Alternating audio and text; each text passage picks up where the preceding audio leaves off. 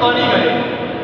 जो खुश दिली से सवाब के लिए कुर्बानी करे, इसकी कुर्बानी इसके और जहन्नम के दरमियान और बन जाएगी।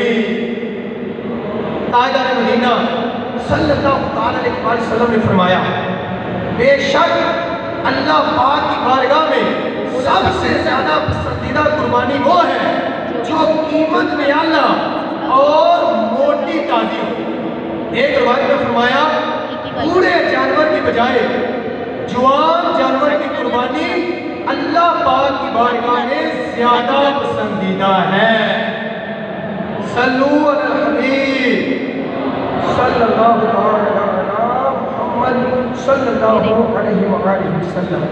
अल्लाह पाक कुरान पाक में शाद फरमाता है तर्जुमा कंजुलमान अल्लाह के हाँ हर किस ना इनके गोश्त पहुँचते हैं और ना इनके खून अलबत् तुम्हारी तरफ़ से परहेजगारी इसकी बारगाह तक पहुँचती है। तफसीर सियातुलजनान में इस आयत के तहत लिखा है, जमाने जाहिलियत में उफाद अपनी कुर्बानियों के खून से काबा शरीफ की दीवारों को आलूदा किया करते थे वो समझते थे कि इस तरह करने से हमें अल्लाह पाक का पूरा मिलेगा। फिर जब इस्लाम का नूर जगमगाया, सहाबा कराम ने हज किया, कुर्बानियाँ पेश की, उनकी तालीम के लिए ये आयत करीमा उतरी और बताया गया कि अल्लाह पाक की बारगाह में ना तो कुर्बानी का गोश्त पहुँचता है और ना खून बारगाह इलाही में पहुँचता हाँ तुम्हारी तरफ़ से तकवा परहेजगारी अल्लाह पाक की बारगाह में पहुँचती है और कुर्बानी करने वाला सिर्फ़ अच्छी नीयत इखलास और तकवा की शायर पर अमल करके ही अल्लाह पाक को राज़ी कर सकता है। तकवा का सादा मफहूम ये है कि तकवा गुनाहों से अल्लाह पाक की नाफरमानी से बचने का नाम है। और इसे पाक में शाद हुआ कि मुत्तकी को मुत्तकी इसलिए कहते हैं कि वो हज और गुनाह वाले कामों में पढ़ने के खौफ से उन कामों को भी छोड़ देता है, जिनमें शरहन कोई हरज नहीं होता।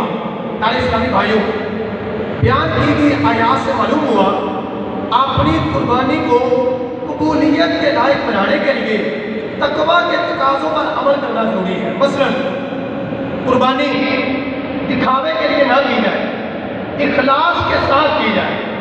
कुर्बानी करने में कोई दुनियावी फ़ायदा ना हो, सिर्फ़ अल्लाह पाक की रजा के लिए कुर्बानी की जाए। जानवर देखने, खरीदने में कोई गैर शर्ती मामला ना होने पाए, इसका ख्याल रखें कसाब के साथ मामला तय करने में इजारे के शर्री असूल पेश नज़र रखे जाए। कसाब की उजरत पूरी पूरी बर वक्त दे दी जाए। कुर्बानी का जानवर गली में बाँध दिया जाता है, जिससे गुजरने वालों को तकलीफ़ होती है, ऐसा ना किया जाए। कुर्बानी के वक्त बाज रास्ता बंद कर दिया जाता है। इससे भी बंदों के हकूक पमार हो सकते हैं। अवामी रास्ते पर कुर्बानी की जाती है। ऐसी सूरत में हकूक इबाद का ख्याल रखा जाए। गलियों में खून यूँ ही बहता छोड़ दिया जाता है, जिससे गुजरने वालों के कपड़े आलूदा होने का बहुत ज़्यादा खौफ है। इससे बचा जाए ओजड़ी और जानवर की आंतें पेट से निकलने वाली गंदगी वगैरह यूँ ही गली में ना डाली जाए। गरज कुर्बानी करने में तहारत और पाकिजगी, सफ़ाई सुथराई का पूरा ख्याल रखा जाए। इज्तमाही कुर्बानी की सूरत में गोश्त की तकसीम शररी असूलों के ऐन मुताबिक की जाए का भी हक ज़ाया ना होने दिया जाए। कुर्बानी की खाद देने का अगर किसी से वादा किया हुआ है, इससे बार बार चक्कर ना लगवाया जाए। बाज लदान कुर्बानी की आड़ में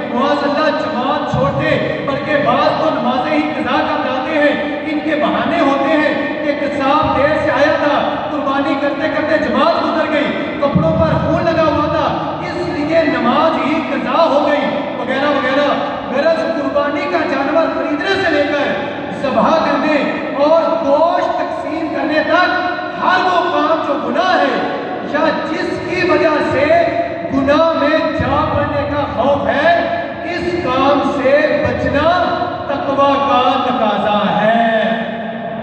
सल्लल्लाहु